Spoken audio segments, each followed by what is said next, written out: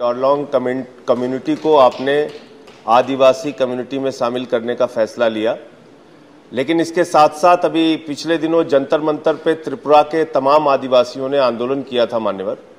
प्रद्युत जी उनके एक नेता हैं और उन्होंने आंदोलन किया था त्रिपुरा के अंदर आदिवासियों के लिए भारतीय जनता पार्टी की वहाँ की सरकार ने जो सांस्कृतिक, राजनीतिक, सामाजिक अधिकारों की रक्षा का जो वादा किया था पहाड़ों में रहने वाले आदिवासियों के लिए जो वादा किया था, उस वादे खिलाफी के खिलाफ आंदोलन हुआ था। तो मैं माननीय मंत्री जी से आपके माध्यम से यह भी अनुरोध करूँगा कि उनके मुद्दों पर आप गंभीरतापूर्वक विचार करके राज्य सरकार से संवाद करके उसका समाधान कराने की कोशिश करें।